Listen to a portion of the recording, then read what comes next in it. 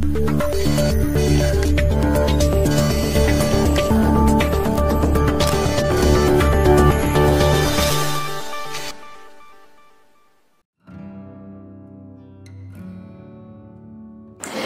everyone this is me Ritika Upmanyu and आप सभी का स्वागत है।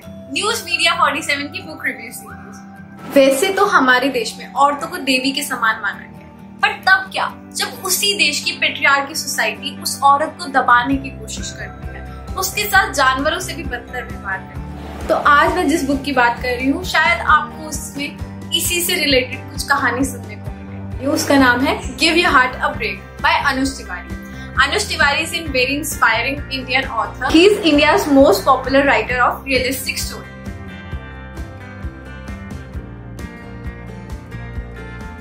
This is the story of three siblings Aadya Agastya and Arjun उनमें से आद्या एक बहुत ही इंडिपेंडेंट और कॉन्फिडेंट वुमेन होती है जो एक केयर फ्री लाइफ जीने में बिलीव करती है।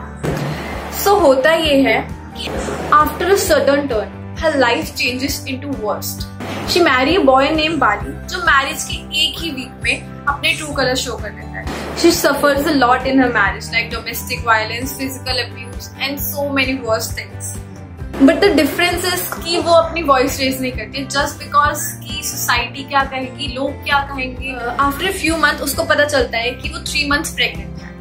एंड उसके बाद उसके पास कोई और ऑप्शन नहीं बचता, उस फैमिली में स्टे करने के अलावा because she has to think about her baby also कि उसकी लाइफ में आगे क्या होगा। तो क्या अद्या इस मैरिज से ओवरकम कर पाएगी? क्या वो अपने एंजाइटी और डिप्रेशन को फाइट कर पाएगी? क्या वो अपने आने वाले बेबी को एक हेल्दी हैप्पी लाइफ दे पाएगी?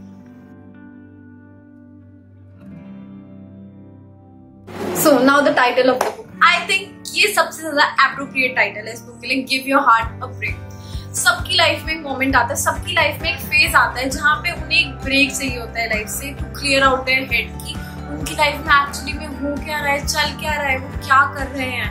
एंड अगर वो कोई गलती कर रहे हैं, किसी गलत चीज़ को सपोर्ट कर रहे हैं तो उससे कैसे धार आया जाए?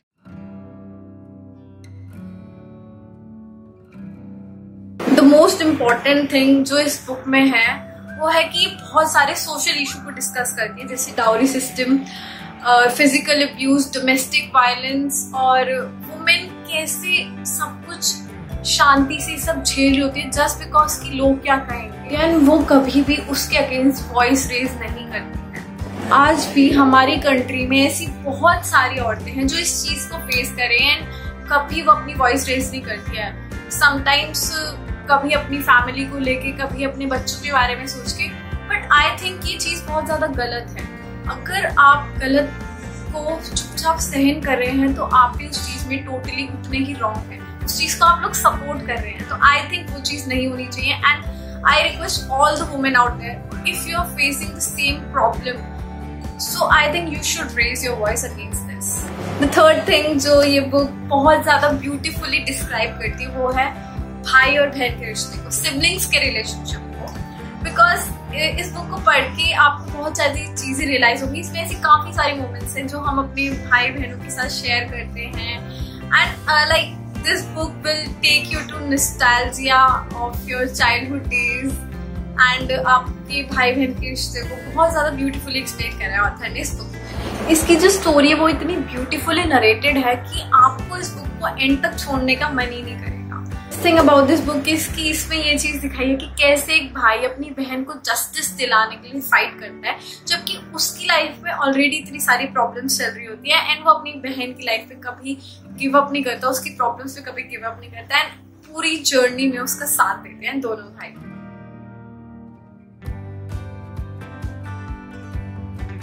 So the message of the story ये ये स्टोरी हमें यही मैसेज देती है कि ऐसी बहुत सारी वुमेन है, आज भी जो same domestic violence physical abuse को सबसे सफ़र कर रही हैं बट वो अपनी वॉइस रेज नहीं करती। तो ये बुक यही मैसेज डिलीवर करती है, अगर आप किसी गलत फेस या गलत चीज़ में लाइक आपके साथ भी ऐसी सिमिलर चीज़ें हो रही हैं तो आप उससे फाइट बैक कीजिए, उसके लिए अपनी वॉइस रेज कीजिए।